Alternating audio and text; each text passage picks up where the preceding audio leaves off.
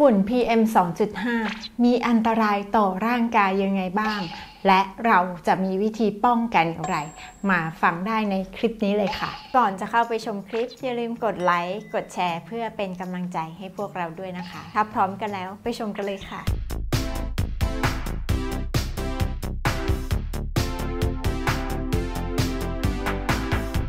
สวัสดีค่ะ กลับมาพบกับรายการหมอยามาตอบ ในช่วงนี้ประเทศไทยและประเทศเพื่อนบ้านนะคะ โดนรุกรานหนักมากจากฝุ่น PM 2.5 ที่หลาย ๆ คนน่าจะพอรู้อยู่บ้างแล้วนะคะว่า ฝุ่น PM 2.5 นั้นมีอันตรายต่อร่างกายนะคะ แต่จะมีอันตรายในระยะสั้นในระยะยาวอย่างไรบ้าง รวมไปถึงวิธีการป้องกันไม่ให้ฝุ่น PM 2.5 มีผลเสียกับร่างกายต้องทำยังไงบ้างนะคะ ก่อนอื่นเรามาทราบกันก่อนนะคะว่าทำไมเราถึงเรียกว่า PM 2.5 คำว่า 2.5 ก็คือเป็นอนุภาคของฝุ่นที่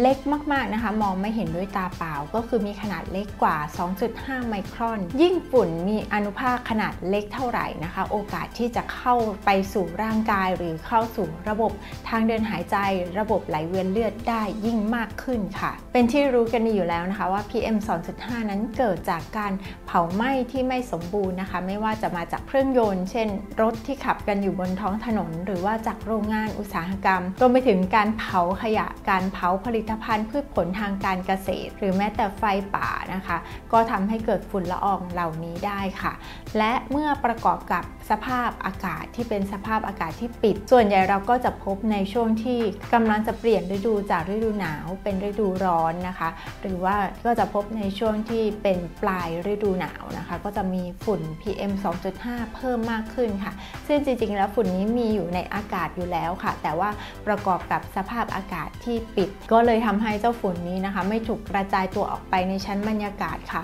มันจะถูกกดต่ำลงมานะแล้วก็ทำให้เราได้รับผลเสียจากฝุ่น PM 2.5 ได้มากขึ้นค่ะ อย่างที่บอกไปข้างต้นนะคะ ว่าอนุภาคของฝุ่นยิ่งมีขนาดเล็กเท่าไหร่โอกาสที่จะเข้าสู่ร่างกาย แล้วก็ส่งผลเสียต่อร่างกายนั้นก็มีมากขึ้นเท่านั้นนะคะ ถ้าฝุ่นที่มีขนาดสูงกว่า 10 ไมครอนนะคะ เมื่อเราสูดหายใจเข้าไป โอกาสที่ฝุ่นใหญ่ๆเหล่านี้มันจะติดอยู่ที่บริเวณโพรงจมูกของเรา หรือว่าที่ขนจมูกของเราก็มีมากนะคะ แต่ถ้าเป็นยิ่งฝุ่นขนาดเล็กสูดเข้าไปปุ๊บก็เข้าไปสู่หลอดลม หลอดลมเล็กแล้วก็เข้าสู่ปอดนะคะ แล้วก็ไปถึงที่ถุงลม และมีโอกาสที่จะเข้าสู่ระบบไหลเวียนเลือดของเราได้ค่ะ ดังนั้นยิ่งฝุ่นเล็กเท่าไหร่ยิ่งมีผลเสียมากเท่านั้นนะคะ ฝุ่น PM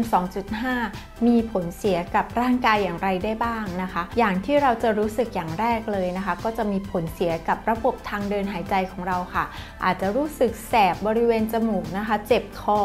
หรือถ้าในบางคนที่มีโรคประจำตัวอยู่แล้ว เช่นเป็นโรคหอบหืด โรคถุงลมโป่งพอง ก็จะมีอาการหอบหืดกำเริบขึ้นมาได้ค่ะ ก็คือจะแน่นหน้าอก หายใจไม่อิ่มนะคะ แล้วก็มีอาการไอมากแล้วก็จะมีเสมหะเพิ่มมากขึ้นค่ะ และในส่วนของระบบไหลเวียนเลือดนะคะ อย่างที่บอกว่ามีโอกาสที่ฝุ่น PM 2.5 จะเข้าสู่เลือดของเราได้นะคะ ส่วนระบบหมุนเวียนเลือดนะคะก็เป็นไปได้ว่ามีโอกาสที่ฝุ่น PM 2.5 จะถูกดูดซึมจากทางเดินหายใจแล้วก็เข้าสู่ระบบไหลเวียนเลือดได้ค่ะ และเชื่อว่าฝุ่น PM 2.5 นี้นะคะ จะทำให้เกิดตะกอนแล้วก็เกิดการอุดตันนะคะ โดยเฉพาะในคนที่มีความเสี่ยงนะคะ ก็อาจจะทำให้เกิดภาวะหลอดเลือดสมองตีบก็ได้นะคะ หรือบางคนก็อาจจะทำให้เกิดหลอดเลือดหัวใจตีบขึ้นมาได้ค่ะ รวมไปถึงภาวะหัวใจวายหัวใจเต้นผิดจังหวะได้นะคะ จะเห็นได้ว่าเกิดผลกระทบต่างๆ มากมายกับร่างกายเลยทีเดียวค่ะ และในด้านอื่นๆนะคะ ก็อาจจะรู้สึกแสบตานะคะ แล้วก็อาจจะรู้สึกคันระคายเคืองที่ผิวหนังเป็นผื่นได้นะคะ อาการเหล่านี้เกิดจจาก PM 2.5 ได้ทั้งหมดเลยค่ะ ส่วนในระยะยาวนะคะ ก็เชื่อว่า PM 2.5 ถ้าได้รับเป็นปริมาณมาก แล้วก็ต่อเนื่องเป็นระยะเวลานาน ก็มีโอกาสที่จะเกิดมะเร็งได้นะคะ เช่นมะเร็งในปอดเป็นต้นค่ะ หรือถ้าเบากว่านั้นนะคะ ในคนที่สภาพร่างกายก่อนหน้านี้ปกตินะคะ แต่ว่าถ้าได้รับ PM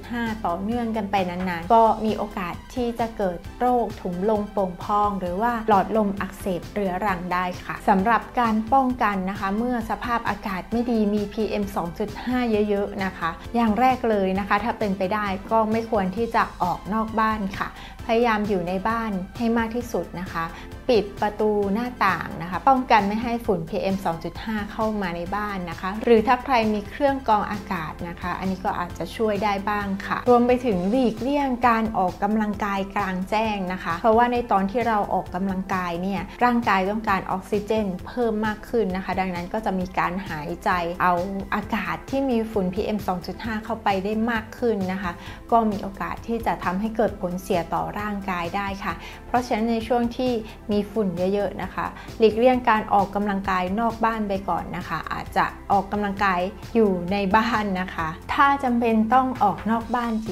ริงๆนะคะ ก็แนะนำว่าให้ใส่หน้ากากค่ะ ซึ่งถ้าเป็นหน้ากากแบบนี้ทั่วไปนะคะ หรือว่าหน้ากากทางการแพทย์ พวกนั้นอาจจะไม่สามารถกรองฝุ่น PM 2.5 ได้ค่ะ แนะนำใส่เป็นหน้ากาก N95 หรือ N99 แต่ทั้งนี้ทั้งนั้นก็ต้องมีวิธีการใส่ที่ถูกต้องนะคะ แล้วก็ใส่ให้แนบกับบริเวณใบหน้านะคะ เพราะว่าถึงแม้ว่าเราจะใส่ N95 หรือ N99 แล้วถ้าใส่ไม่ถูกต้องแล้วมันมีรูนะคะ PM 2.5 ก็จะเข้ามาได้เหมือนเดิมค่ะ หรือถ้าเป็นคนนที่สุขภาพแข็งแรงดีไม่ได้มีโรคประจำตัวอะไรไม่ใช่กลุ่มเสี่ยงนะคะ อาจจะแนะนำให้ใช้เป็นหน้ากากอนามัยทั่วๆไป หน้ากากทางการแพทย์ก็พอได้นะคะ หรือบางคนก็คิดหาวิธีที่จะช่วยป้องกันฝุ่น PM 2.5 ได้เพิ่มมากขึ้นนะคะ ก็บอกว่าให้ใช้ผ้าขนหนูหรือทิชชู่ ชุบน้ำเปียกๆมาปิดไว้บริเวณจมูกอย่างนี้นะหรือว่าใช้ทิชชู่ไว้ข้างในนะคะ แล้วก็สวมหน้ากากปิดทับอีกทีนึงก็จะพอป้องกันฝุ่น PM 2.5 ได้บ้างนะคะ แต่ก็ไม่ได้เทียบเท่ากับ N95 หรือ N99 ค่ะ ในช่วงที่ PM 2.5 เยอะๆนะคะ กลุ่มเสี่ยงที่ต้องระมัดระวังเป็นพิเศษนะคะ ก็คือเด็กผู้สูงอายุหญิงตั้งครรภ์แล้วก็คนที่มีโรคประจำตัวค่ะ เช่นโรคหลอดเลือดหัวใจหลอดเลือดสมอง คนที่เป็นภูมิแพ้หอบหืดหรือโรคถุงลมโป่งพองนะคะ กลุ่มเหล่านี้เป็นกลุ่มเสี่ยงที่เมื่อได้รับผลกระทบจาก PM 2.5 แล้วจะมีอาการรุนแรงได้เพิ่มมากขึ้นนะคะ ดังนั้นก็ต้องระมัดระวังแล้วก็พยายามอยู่ในบ้านให้ได้มากที่สุดนะคะ งดกิจกรรมข้างนอกบ้านหรือกิจกรรมกลางแจ้งค่ะ ขอบคุณทุกท่านที่ติดตามรายการหมอยามาตอบจนจบคลิปนะคะ ถ้าท่านใดชอบเนื้อหาของเรา อย่าลืมกด subscribe กดกระดิ่ง ให้ช่องบัณฑิตกายภาพบำบัดและจัดกระดูกใน YouTube เพื่อที่ท่านจะไม่พลาดคลิปดีๆ ตอนใหม่ๆ ของเรานะคะ และท่านใดที่ต้องการติดตาม content อื่น ๆ ของพวกเราสามารถติดตามได้ที่ทาง เพจ Facebook บัณฑิตกายภาพ จะมีเนื้อหาสาระเกี่ยวกับสุขภาพมาอัปเดตให้ท่านได้ทราบก่อนใครเลยค่ะ อย่าลืมกดไลค์แล้วก็กด see first ให้ด้วยนะคะรวมไปถึงท่านที่ชอบเล่น t i k t o กสามารถกดติดตามเราได้แล้ว ทางบัณฑิตกายภาพใน t i k t o กนะคะ และท่านใดที่ใช้ไลน์ สามารถกดเป็นเพื่อนกับเราได้ที่บัณฑิตฟิสิโอซึ่งก็สามารถติดตามคอนเทนต์ที่เป็นคลิปวิดีโอของพวกเราได้เลยนะคะสำหรับวันนี้ขอลาแต่เพียงเท่านี้พบกันใหม่ในครั้งต่อไป สวัสดีค่ะ